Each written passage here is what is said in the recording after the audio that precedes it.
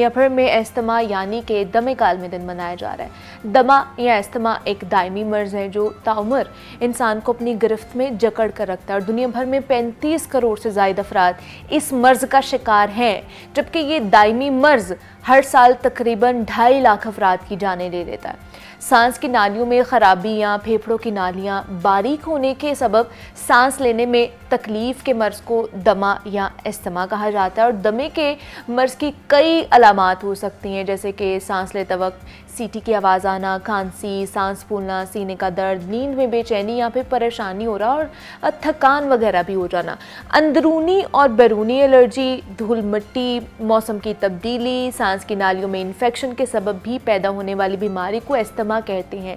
और इस मर्ज़ से आगाही और इसके मरीज़ों की मदद करने से मुतलिक शूर उजागर करने के लिए आज दमे काल में दिन मनाया जा रहा है। तहम दमे की वजूहत क्या हो सकती हैं, इसकी इकसाम और इलाज क्या है और दमे के मरीज़ मौसम गर्मा में अपना ख्याल किस तरह रख सकते हैं ऐसे और भी बहुत से इंपॉर्टेंट क्वेश्चन हैं जो आज हमने जनाब जानने हैं जिनके जवाब हमने लेने हैं। Associate professor doctor Irfan Malik consultant pulmonologist हमारे साथ मौजूद हैं। डॉक्टर इरफान आपको वेलकम कहती हूँ जागो लाहौर में। कैसे हैं आप? अलहमदिल्ला थैंक यू सो मच आप कैसे? मैं भी बिल्कुल ठीक ठाक। डॉक्टर इरफान आज इस्तेमा का वर्ल्ड इस्तेमा डे मनाया जा रहा है। तो क्या मसला होता है इसमें? क्या प्रॉब्लम्स होती हैं? इसके रूट कॉज क्या है जिसकी वजह से दमा हो सकता है आपको? जी एस्थमा जिसको हम हरफ आम में जो हाँ लोग पसंद करते हैं उसको एलर्जी कहते हैं। हम्म। ठीक है? It's a very common disorder specially अगर आप लाहौर के स्नैरियो में देखें तो पिछले इस बिन टेन ईयर मेरी प्रैक्टिस में हम पहले इसको सीजनल समझते रहे कि इस सीज़न में होगा इस सीज़न में होगा। लेकिन अब ये हमारा जो एस्थमा मैं ऑब्ज़र्व जो कर रहा हूँ ये थ्रू आउट द सीज़न चलता है। ठीक है? हम्म। एस्मा में 80 परसेंट जो वजह होती है वो जेनेटिक होती है यानी जीन से आता है। अच्छा लेकिन कुछ हद तक ये इन्वायरमेंटल भी होता है ठीक है? हाँ। जैसे हम अगर मैं अपने सिटी की बात करूँ तो इसमें इन्वायरमेंटल पोल्यूशन बड़ा मेजर रोल प्ले करती है। तो आपकी फैमिली में एलर्जी का होना allergy in any sense like कुछ लोगों को सिर्फ़ एलर्जिक राइनाइटिस होता है जिसका मतलब है कि छींके आना हम्म। कीड़ा गले में गिरना कुछ लोगों को सिर्फ़ जिसम पे खारिश होता है जिसको आर्टिकेरिया अच्छा। कहते हैं अच्छा। ये भी एलर्जी की एक मैनिफेस्टेशन होती हैं हम्म। अगर फैमिली में ये है और आपको वो अलामत है जो आपने बड़ी चीज़ डिस्क्राइब की है कि सांस का फूलना खांसी सांस में सीटों की आवाज़ का आना या सांस में तंगी महसूस हाँ होना अगर ये सिम्टम है फैमिली में किसी को अर्टिकेरिया भी है या स्नीजिंग भी है या केरा गले में गिरता है तो प्रोबेबिलिटी ये है कि आपकी जो अलामत है उसका ताल्लुक एस्थमा से है। अच्छा मतलब ये आगे जाके एस्थमा आपको हो सकता बिल्कुल, है। बिल्कुल, अगर इस तरह के इनिशियल स्टेजेस पे अगर आपको इस तरह की कोई भी मतलब जो हमने डिस्कस किया उसमें से कोई भी आ रही है तो any one of the following कोई एक भी होगी जितनी ज़्यादा होगी उतनी सेंसिटिविटी बढ़ जाएगी। यानी अगर किसी को सांस फूल रहा है स्पेशली और ये सारी अलामत स्पेशली लेट नाइट या अर्ली मॉर्निंग होती है। अच्छा। तो अगर आपको ऐसी वेरिएबिलिटी मिलती है उस इनिशली हम्म। ये होता है कि लाइक कुछ लोगों को नज़ला ज़ुकाम हुआ उसके बाद किसी भी शख्स को अगर नज़ला ज़ुकाम के बाद ये अलामत दस दिन तक रहें क्योंकि नॉर्मली हम समझते हैं कि नज़ला ज़ुकाम के बाद विद इन टेन डेज़ ये सिम्टम्स क्लियर हो जाएँगी अच्छा। लेकिन अगर आपकी ये अलामत टेन डेज़ से ज़्यादा चलें हम्म। तो ये एक अलार्मिंग साइन है और अगर ये चीज़ें आपको एक एक साल में दो से तीन दफ़ा होना शुरू हो जाएँ और वो किसी सीज़न से ताल्लुक उसको आपको लगे लाइक ठंड ज़्यादा हो गई है लाइक आप डस्ट में चले गए हैं तो definitively you are suffering from the asthma फिर तो आपके लिए बहुत ज़रूरी है अगर पहली दफ़ा है तो फिर हम इसको अंडर ऑब्जर्वेशन रखते हैं कि हो सकता है कि इस वक्त आपको इन्फेक्शन ऐसी है जिसमें ये लामत है। हम्म। लेकिन सेकेंड टाइम का मतलब ये है कि आपको अपने डायग्नोसिस को रिव्यू ज़रूर करना ओके लेकिन क्या ये ज़रूरी है कि आपकी फैमिली हिस्ट्री हो ये जेनेटिकली आपको ट्रांसफ़र हो रही है या इन्वायरमेंटल फैक्टर्स की वजह से भी ये हो सकता है? देखिए मैंने आपको बताया जैसे एटी परसेंट प्रोबेबिलिटी ये है कि आपकी फैमिली फैमिली हिस्ट्री ठीक है। हाँ जी ट्वेंटी परसेंट में जैसे इन्वायरमेंट का कहा इन्वायरमेंट के अलावा आपका ऑक्यूपेशन भी हो सकता है जो लोग फैक्ट्रीज में काम करते हैं ठीक है वो भी एक ऑक्यूपेशन है जो लोग ये सीमेंट फैक्ट्रीज में काम करते हैं कृषि फैक्ट्री में काम करते हैं उनको ऑक्यूपेशनल एस्थमा कहते हैं। हम्म। ये भी प्रोबेबिलिटी होती है। जो पेंट करती हैं वो पेंट से भी ट्रिगर हो सकता है। अच्छा। सो ये भी एक टाइप ऑफ़ एस्थमा है ठीक है? सो इसमें एटी परसेंट जेनेटिक है ट्वेंटी परसेंट आपके ऑक्यूपेशन रिलेटेड भी हो सकते हैं इन्वायरमेंटल रिलेटेड भी हो सकते हैं। तो कितने टाइप्स ऑफ़ एस्थमा है जो हमें नहीं पता? मतलब बहुत से कम बहुत कम है जो हमें पता है कि अच्छा ये एस्थमा के टाइप देखिए टाइप थोड़ा सा क्वेश्चन बन जाएगा जो मैं समझता हूँ मेडिकल स्टूडेंट के लिए। हाँ अगर हम इसको क्लासीफाई करना चाहिए तो एक टाइप होते हैं जिसमें कफ परी प्रिडोमिनेंट होती है। ओके। आप पेशेंट को यूजली काफ़ी आती है। डॉक्टर साहब हमें खांसी आ रही है सिर्फ़ रात को आती है कभी ठीक हो जाती है उसके साथ और अलामत नहीं होती। और ये पेशेंट बड़े डिफ़िकल्ट टू टू डायग्नोज है and plus very difficult to convince है। बिकॉज़ हमारी पॉपुलेशन का ज़्यादा कंसेप्ट ये है कि जब तक आपकी सांस में सीटियों की आवाज़ नहीं आएगी जब तक सांस नहीं फूलेगा हम्म। तो वो एस्थमा नहीं होगा। लेकिन काफ वेरियंट ऑफ़ एस्थमा ऐसा है जिसमें सिर्फ़ काफ ही प्रीडोमिनेंट होती अच्छा। है लेकिन वो ये सारे फैक्टर रखते हैं जैसे मैंने आपको बताया कि रात को ज़्यादा होगी अर्ली हाँ मॉर्निंग ज़्यादा हाँ होगी और इन बिटवीन वो ठीक हो जाएगी। सो ये एक टाइप ऑफ़ एस्थमा कहते हैं। अच्छा एक टाइप ऑफ़ एस्थमा ऐसा जो फीमेल में कॉमन है और वो उसको कहते हैं? प्रेगनेंसी ड्यूस एस्थमा वो एस्थमा सिर्फ़ प्रेगनेंसी में ही होता है और यूजली थर्ड ट्राइमेस्टर जो लास्ट थ्री मंथ्स होते हैं उनमें कॉमन होता है। ठीक है ये एस्थमा फिर ड्रग इंड्यूस एस्थमा भी होता है। कुछ ड्रग्स ऐसी हैं जो एस्थमा ट्रिगर कर लेती हैं जिसमें सबसे कॉमन ड्रग जो है वो हमारी कॉमनली यूज़ ड्रग है जिसको हम एस्प्रिन कहते हैं। तो ये हाँ। ये भी एक होता है। इसके अलावा एक्सरसाइज इंड्यूस एस्थमा होता है हम्म। फिर एस्थमा जो नॉर्मली अच्छा, हम लोग किसी को फ़ूड से भी होता है कुछ फ़ूड एलर्जिक भी होते हैं। देखिए बहुत जल्दी आपने सवाल पूछा। हमारा जो एस्थमा है ना आई आई डोंट नो इतना टाइम हो गया अब आप लोगों को हमसे ज़्यादा एस्थमा आ गया द बता बता के। एक सवाल जो मरीज़ जो है ना जिसने हाँ। पूछना ही पूछना है चाहे वो अनएजुकेटेड है चाहे हाईली एजुकेटेड डॉक्टर साहब दो चावल केला नहीं। अच्छा ये मैं अब मुझे नहीं समझ लगती कि ये कौन सा ऐसा सियाणा है जो हमारी कौम में आ गया और अब तक हम उसको भी क्लियर नहीं कर सके। इतने पल्मोलॉजिस्ट बोलते रहते हैं हाँ। बोलते रहते हैं। जो फ़ूड एलर्जी है that account only two percent of whole asthma triggers ये ट्रिगर्स हैं। अच्छा। जैसे मैं आपको बात करता हूँ कि इंडोर आपने कारपेट रखा है इट्स ट्रिगर ठीक है? इंडोर हम्म। आप अगर आपके कैट है इट्स ट्रिगर हाँ, exactly. पेजन पिजन जो है ट्रिगर है। बर्ड्स ट्रिगर है। ये भी एक ट्रिगर हो सकते हैं लेकिन बिलीव मी बहुत मुश्किल है कि ये जो तीन चार चीज़ों का मैंने नाम लिया ये ट्रिगर हो। लेकिन हाँ एक चीज़ मुझे बिल्कुल मैं कह सकता हूँ हम लाहौर में रहते हैं है ना? तो पता नहीं क्या क्या खा चुके हैं हम लोग।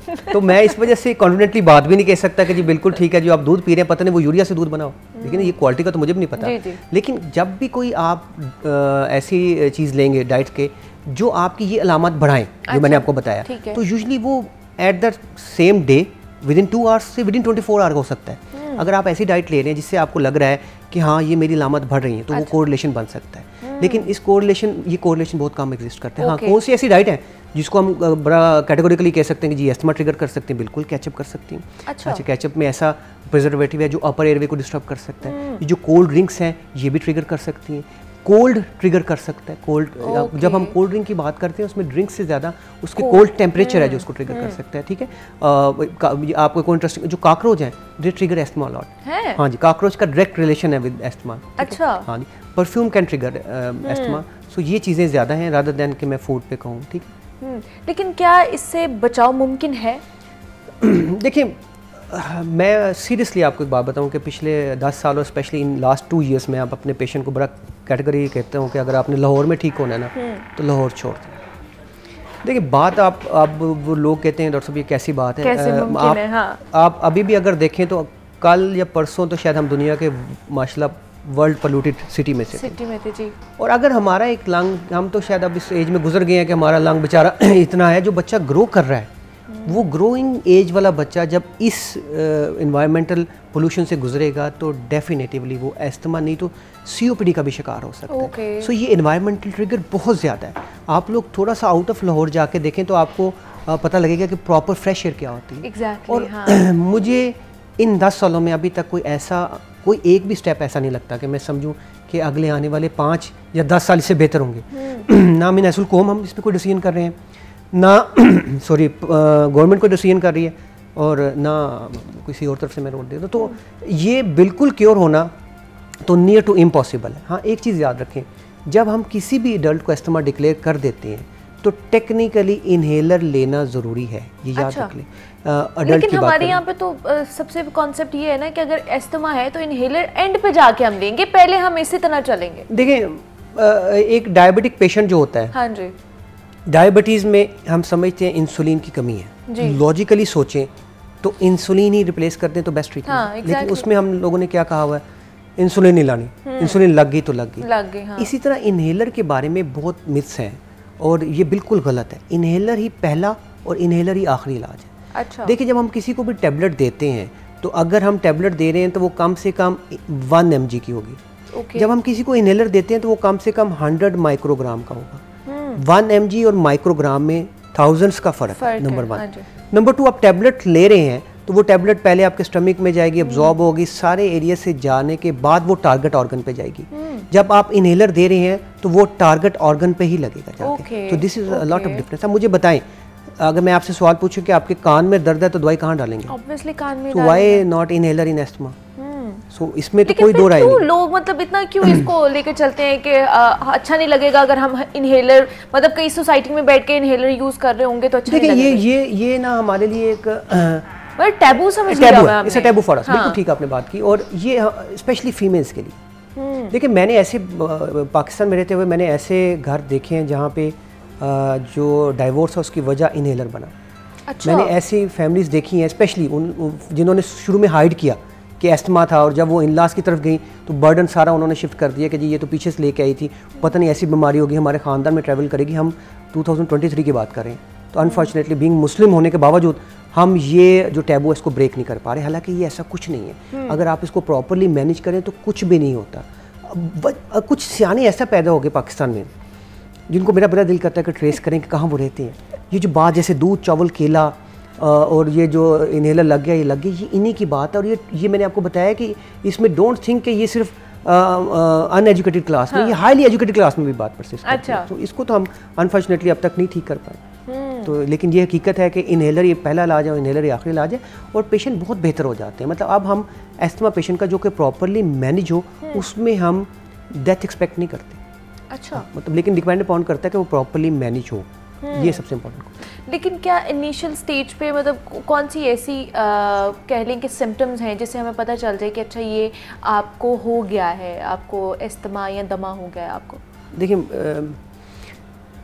मैं आपको बात बताऊँ कि इतनी एजुकेशन और स्पेशली मैंने जब से मीडिया में आया हूँ मेरा भी two thousand fourteen I remember जब पहला शो किया था ये अवेयरनेस हम्म। लोगों में बिल्कुल हो चुकी है। ओके एक्सेप्टेंस नहीं है।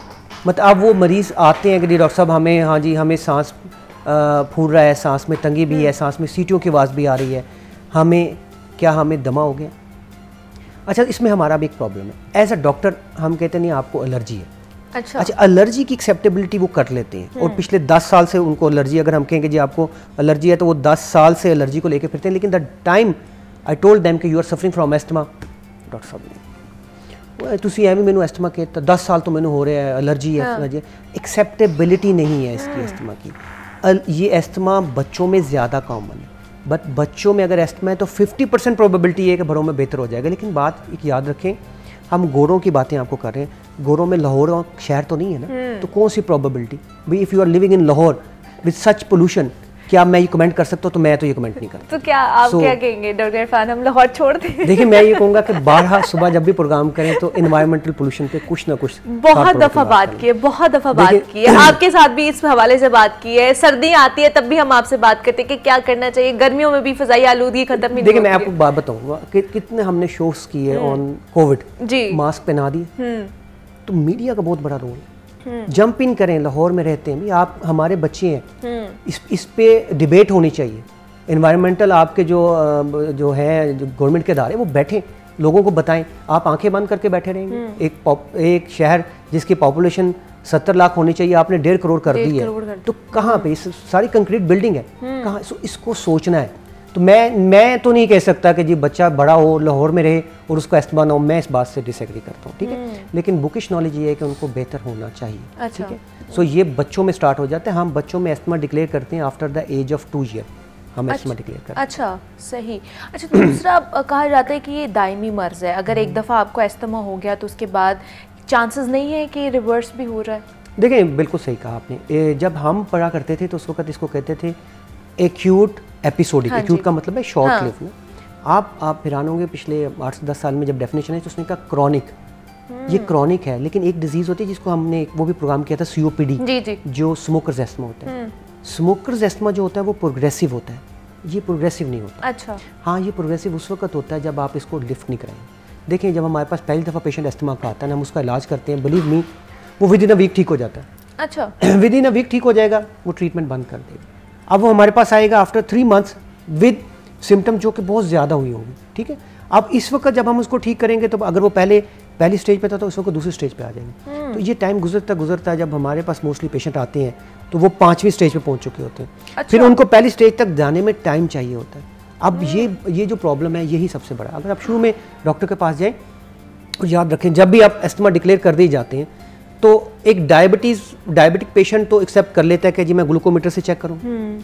वो एक्सेप्ट कर लेता है कि मैं अपने कंसल्टेंट से रेगुलर जो चेकअप करूँगा एस्थमेटिक नहीं करता हम्म। उसकी वजह है कि हम आप लोग हर घर में एक डॉक्टर एंटिल प्रूवन अदरवाइज़ चाहे वो अभी मेडिकल स्टूडेंट है या चाहे वो हाउस जॉब कर रहा है हाँ। और अगर कंसल्टेंट ने भी कहा है ना तो वो हाउस जॉब घर वाला डॉक्टर जो है ना वो कंसल्टेंट से ऊपर है हाँ। तो ये इस पे देखें मीनासुल कोम हमें सबको मतलब समझना चाहिए कि asthma is a controllable disease Okay. Is remember it's a controllable disorder but we make it uncontrollable because of our self हम उसको खुद ब खुद ही वो कह देते हैं तू ठीक हो गया तू कोई इनहेलर ले जा रही बाय द वे इसको भी ब्रेक करने के लिए हमारे पास एक चीज़ आ गई है। इसका मिथ ब्रेकर हमारे पास वो क्या है? अब लोगों को वो इनहेलर पसंद नहीं जो हिला के आप छेप के हाँ जाते तो हम हमारे पास कैप्सूल अवेलेबल है डिवाइस में डालते हैं जो सक कर लेते अच्छा। हाँ उनकी एक्सेप्टेबिलिटी ज़्यादा अच्छी है। मैकेनिज्म दोनों का सेम है लेकिन डॉक्टर साहब कैप्सूल खींच लेने हैं। असी we can't take inhaler so इसकी डिफरेंट हमारे पास modality available we can prescribe that to different patient लेकिन दोनों एक ही जैसे दोनों सेम चीज़ सेम चीज़ यू हैव टू इनहेल मतलब एक है जो आप जिसको आप शेक हाँ, करते हैं करके उसके साथ अटैच करते हैं उसके बाद हाँ। करते हैं। और एक और बात इसमें बड़ी इंपॉर्टेंट मैं आपको बता दूँ कि मोस्ट ऑफ़ द पेशेंट्स में एस्थमा की treatment prescribe is not an issue okay issue is कि दे डोंट नो कि कैसे मैंने इनहेलर लेना। दिस इज़ वेरी इंपॉर्टेंट मतलब आपने ट्रीटमेंट डॉक्टर साहब ने अब देखिए इतने तो पढ़े लिखे माशा डॉक्टर आते हैं हमारे पास पहुँचते हुए कुछ नहीं हमने करना होता। हमने उसको सिर्फ़ कहना है कि जी ये जो दवाई ले रहे हैं इसका ये तरीका कहा तो ये मरीजों को ज़रूर पता होना चाहिए कि इनहेलर आपने लेना है तो कैसे लेना है। ठीक है। फिर रेस्क्यू इनहेलर कौन सा है? अब इतनी सडनली आप लोग बाहर निकलते हैं कोई भी एस्थमा का पेशेंट बाहर निकला इतनी ज़्यादा ड्राई और डस्टी एटमोसफियर सडनली चेंज हो गया तो उसका एस्थमा ट्रिगर हो गया। हाँ। हो सकता है वो हॉस्पिटल से इतना दूर हो कि जाते जाते उसको खुदा ना खास्ता कोई प्रॉब्लम हो जाए। तो एस्थमा के पेशेंट को पता होना चाहिए कि मैं ये रेस्क्यू इनहेलर लेना चाहूँ। तो अच्छा। Technique of the inhaler plus rescue inhaler ये बड़ी इंपॉर्टेंट लेकिन ये एस्थमा के पेशेंट को पता होना चाहिए जो उसके साथ वाले लोग हैं उनको पता होना चाहिए टेक्निक सारी? देखिए अगर आप बच्चे की बात करें तो हाँ। पेरेंट्स को पता होना चाहिए। हाँ एग्जैक्टली स्पेशली पेरेंट्स को पता नहीं लेकिन जो अडल्ट हैं उसमें तो अडल्ट को पता होना चाहिए और एस्थमा का जो इनहेलर है वो उनकी पॉकेट में होना चाहिए स्पेशली रेस्क्यू इनहेलर अच्छा। हम्म। तो ये आजकल का जो मौसम है इसमें क्या ट्रिगर हो सकता है बिल्कुल? देखिए आजकल के मौसम में सबसे इम्पोर्टेंट काम हमारे एग्रीकल्चर लैंड में क्या हो रहा है? हार्वेस्टिंग एग्जैक्टली तो वो हाँ। हार्वेस्टिंग की वजह से ये थ्रेशर चलने की वजह से आपकी इन्वायरमेंट थोड़ी पोल्यूटेड ज़्यादा होती है। वो ट्रिगर है जो। है इसमें से बहुत ज़्यादा एस्थमा कॉमन है इस वक्त करके तो इसमें ज़्यादातर जो एस्थमेटिक है उनको ख्याल रखने की ज़रूरत है? देखिए ख्याल अब वो बेचारे बाहर तो जाना है मास्क पहन ले। मास्क का तो वो मतलब उनका वो वो वो वो, वो खत्म हो गया वो था मास्क लेकिन हम नहीं सुनते ना हम नहीं सुनते। अभी भी कोरोना है अभी हाँ। भी ये सारी चीज़ें हैं लेकिन मास्क हम नहीं पहन रहे अभी भी। नहीं फिर भी थोड़ी सी एक्सेप्टेबिलिटी है। अच्छा आई है? आई थिंक सो मास्क की इतनी एक्सेप्टेबिलिटी है कि अब तो माशाल्लाह बड़े डिफरेंट फैशनेबल मास्क भी आ गए तो वो आप लोगों के लिए भी प्रॉब्लम नहीं है तो बाकी को लेके तो मैं समझता हूँ मास्क फिर भी थोड़ा एक्सेप्टेबल हो चुका है। लेकिन मास्क पहने देखिए अभी आपके पास एक न्यू डिज़ीज़ एक और हाँ आ गई है जिसपे हम मंकी पॉक्स जो आया है, तो, तो हाँ। ये you have to fight with this disease with only two three manure हम्म। हैंड हाइजीन आपकी होनी चाहिए Exactly. मास्क होनी हाँ चाहिए ये अब आपको अपने ट्रेनिंग का पार्ट कर लेना चाहिए। आपको अपने बच्चों को सबको ये बताना चाहिए कि आप उनमें किन किन चीज़ों को टच किया तो हैंड को साफ़ रखें। ज़रूरी नहीं कि सैनिटाइजर परचेज करें। आप सोप से वॉश कर लें तो ये तो अब हमारा फ्यूचर ही है। We have to live with this this kind of अच्छा दूसरा जो स्मोकर्स होते हैं उनका भी डायरेक्ट लिंक है इसके साथ जो स्मोकिंग करते हैं? बहुत इंपॉर्टेंट है। स्मोकर्स में अगर एस्थमा है हाँ और वो एडजस्ट कर लें इन दोनों के साथ चलना तो अच्छा। उनका एस्थमा सबसे डिफ़िकल्ट टू ट्रीट हो जाता है। हम्म। वैसे टेक्निकली वो खुद ही क्विट कर देते हैं स्मोकिंग बिकॉज़ जब भी वो स्मोक करते हैं ये ट्रिगर हो जाता है ठीक है? अच्छा। लेकिन कुछ ऐसे भी मुजाहिद होते हैं जो बैलेंस करना सीख लेते हैं ना तो उनके लिए फिर जब वो हमारे पास आते हैं इट्स वेरी डिफ़िकल्ट एस्थमा ठीक है? तो स्मोकर्स को तो वैसे वैसे स्मोकिंग करनी ही नहीं चाहिए ठीक है? already form लाहौर में। आप रह रहे हैं हाँ, और बिल्कुल अगर आप हाँ, अगर आपको स्मोकिंग का शौक है तो मगरिब के बाद निकल के लंबे लंबे सांस लेने तो स्मोकिंग पूरी हो जाती है। लेकिन स्मोकिंग भी आपको नहीं करनी चाहिए और अगर एस्थमा है तो उसको तो बिल्कुल भी स्मोकिंग नहीं हम्म अच्छा उनका ज़्यादा डिफ़िकल्ट कॉम्प्लिकेट हो जाता है है। एंड डिफ़िकल्ट टू ट्रीट हो जाता है। लेकिन आपके पास जो डॉक्टर इरफान आते हैं उनको आप जब कहते हैं कि स्मोकिंग क्विट कर दे तो करते हैं वो? कर देते क्योंकि हैं? मैंने कभी स्मोकिंग नहीं की ना देखिए अगर हम भी नहीं करेंगे तो हमारी बात में असर करेंगे। हाँ। अक्सर तो कहते हैं डॉक्टर साहब तुम सानू समझा रहे हो नाल डॉक्टर सिगरेट पी रहे और ये एक एक एक, एक हाँ, फिक्रिया है बड़ा लेकिन देखिए इसके डिफरेंट वेज हैं समझाने के। कभी ना समझें कि स्मोकर आपके पास पहली मुलाकात में आपकी बात से एग्री कर जाएगा। हम्म। आपने कन्विंस करना है। कन्विंसिंग के बड़े सी चीज़ें हैं। जैसे हम अगर अपने प्राइवेट सेटअप की बात करें तो गवर्नमेंट सेटअप में तो स्पायरोमीटर अवेलेबल है। प्राइवेट सेटअप में हमारे पास एक ऐसी डिवाइस भी है जो कि बता देती है कि आपके लंग्स में जो सांस बाहर निकाल रहे उसमें कार्बन मोनोऑक्साइड कितनी है।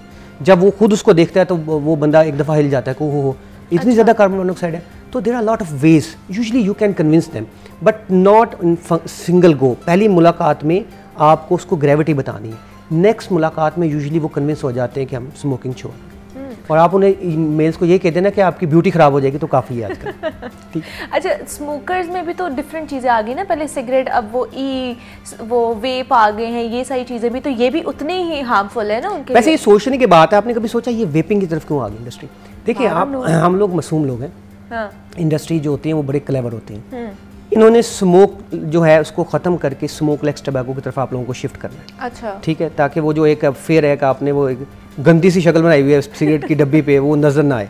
हाँ। तो ये सारा शिफ्ट हो रहा है टुवर्ड्स दैट ठीक है? अच्छा।